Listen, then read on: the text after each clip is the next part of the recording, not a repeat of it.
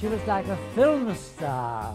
She had this wicked, really wicked persona.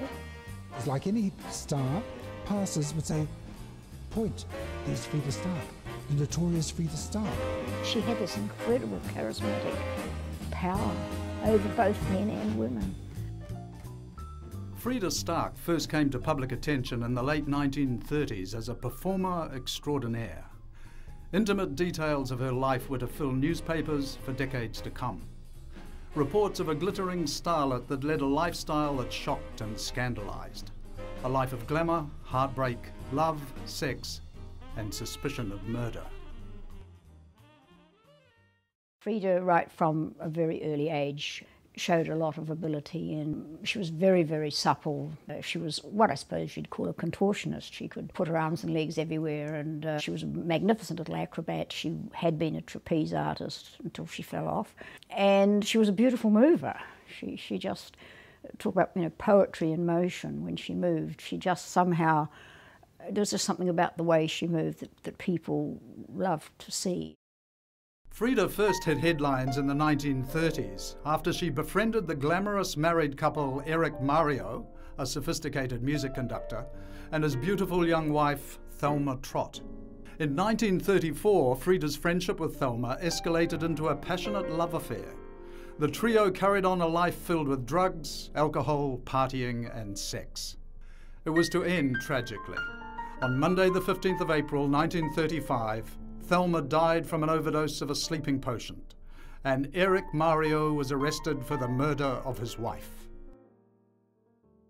Freda's role in the trial was that of being the star witness for the prosecution.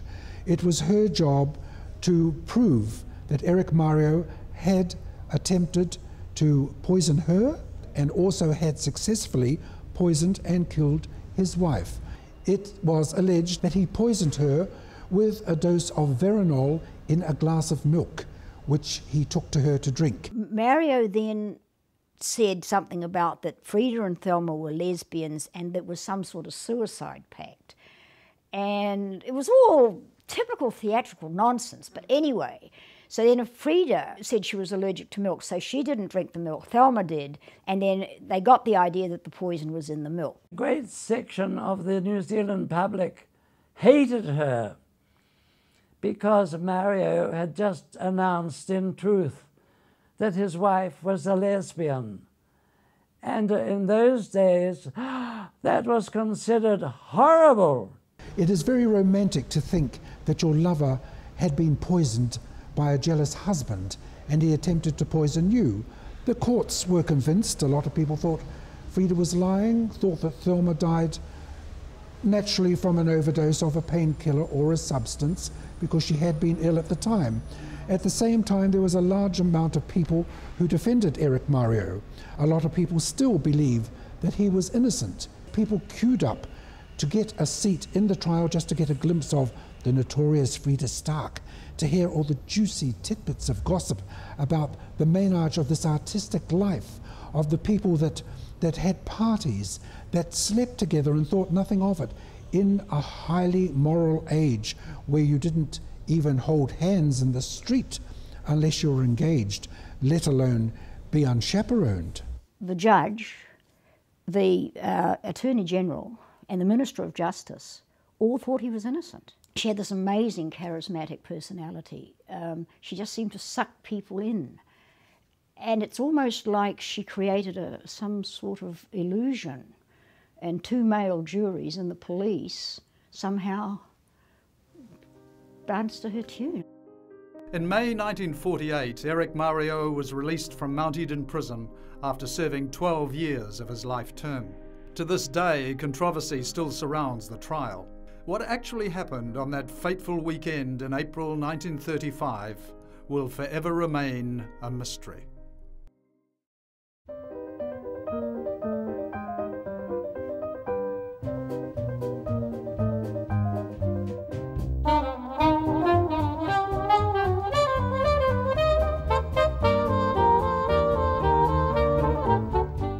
It was the 1940s and Freda was back on her feet. She was hired to dance with the Lucky Lovelies. Life became hectic for the dance troupe, performing every night in the Civic's Winter Garden for crowds of American servicemen stationed in Auckland. The Civic had gone through a bit of a decline after its opening in 1929 and the Depression, and it was struggling like a lot of other businesses. The war years came, it had a very gifted manager at that time, Lawrence Quinn. The US Marines were using New Zealand, Auckland and Wellington specifically, as a rest and recreation venue. They were young, they were well paid, the famous line, they were overdressed, overpaid, oversexed, and over here. And Lawrence Quinn realized that the Winter Garden Cabaret was becoming the headquarters for the Marines, and he thought a cabaret troupe of dancers would be ideal to put on. So he engaged a woman called Regina Ray to form a group of dancers, choreograph them, costume them, and put on this cabaret dance show at night in the Winter Garden after the film had screened. The group was called the Lucky Lovelies, and Freda Stark, who was great friends of Regina Ray and some of the other dancers, was also engaged to form part of this troupe. And then it suddenly thought, what say if Freda does a dance in the nude? But you had to be dressed. You weren't allowed to move about on the stage. So they painted Freda with gold paint, and she did a magnificent statuesque dance as only she could.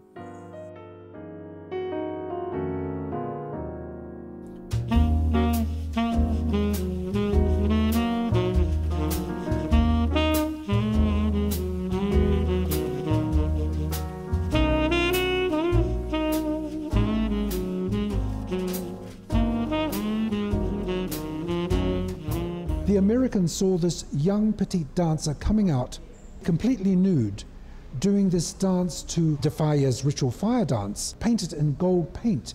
It was contrary to anything else anyone had imagined. It was notorious, sensational. The word spread like wildfire. And Freda was nicknamed the fever of the fleet because here in front of them was a naked woman. Even the films of that time wouldn't show such a thing. The servicemen absolutely loved it. Well, you can imagine because she was painted in gold. And of course, the, the American GI guys went mad. Freda would get an, an enormous ovation, of course. It was all rather impersonal, untouchable, slow moving. Once the troops had gone, the war was over, the complete fizz went out of that vibrant artistic life that was here during the war. Even with the Civic, it fizzed out, the cabaret became just another place for dine and dance. I first met Freda at the end of a show which had been held in His Majesty's Theatre. She was sitting on that side of the room and I was over here. I couldn't keep my eyes off her. She appeared at this party looking like Hollywood move over. She wore a camel hair coat with an enormous red fox, and I think I lay at her feet from that very moment. She wasn't beautiful in, in, in a classic sort of sense. She just had a, a lovely spirit and I found that when I, my duty was finished and I was coming back to New Zealand, I wasn't coming back to my sisters or my father. I was coming back to see Freda Stark. Over the distance, I'd really fallen in love with her. Freda and Harold married in September 1947. Sex didn't form a large part of their marriage, but the marriage continued as a loving friendship. In 1973, Freda and Harold divorced, but remained close friends for the rest of their lives. Freda's later life was a very happy time because I don't believe she had any regrets. She enjoyed life, she had great friends, she was entertained, she went to shows. She was a very happy person because she was satisfied with her life, with what she had done. it was almost serendipitous that the Civic, as it had been from 1929 to 1999, closed at the same time that Freda closed and left us.